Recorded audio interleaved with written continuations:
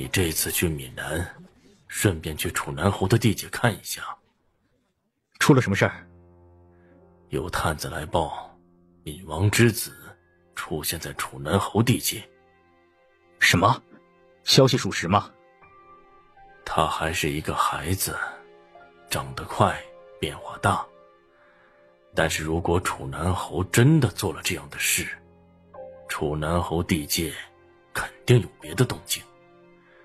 你只要留意就好。若是真有什么事儿，传消息回来即可。萧敬寒点头。当时河南叛乱用的就是闵王之子的名头，当时情况紧急，平定了河南之后，闵王之子也没了下落。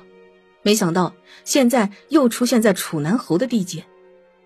易清纠结了许久，最后没带萧然，家里养了奶羊，告诉下人怎么喂，另外让萧铎每天回来看着。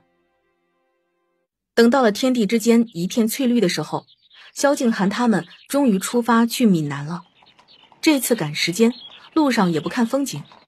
萧敬寒这次是巡查使的身份，主要去问责真王，路过平壤而已。父亲，听说萧将军来府上做客。萧将军，这是小女陈飞燕，一直仰慕萧将军。萧敬寒不看陈飞燕，对着楚南侯颔首。陈飞燕略显尴尬。她是平壤第一美人，仰慕她的文人雅士无数，萧敬寒竟然看都不看她一眼。萧将军莅临，小女愿献舞一支，欢迎萧将军。陈飞燕就不信萧敬寒不看她。如此甚好啊！